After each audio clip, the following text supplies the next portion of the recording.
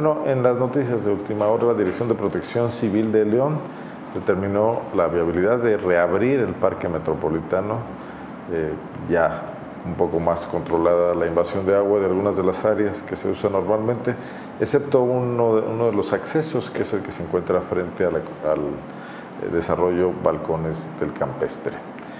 Eh, la presa del Palote se encuentra con un nivel del 112% de su capacidad operativa ordinaria. Esto hasta el corte de ayer.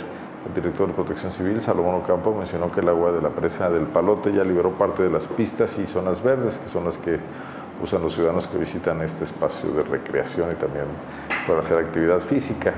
Eh, en vista de esto se, se, permite ya el acceso.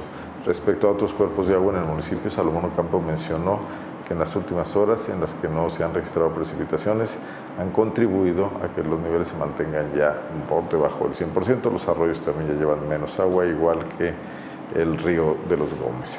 Se espera que la temporada de lluvias continúe, todavía es lo que queda de septiembre, septiembre va iniciando e incluso en las primeras semanas de octubre, por lo que se seguirán tomando previsiones. Escuchemos lo que dice el director de Protección Civil de León.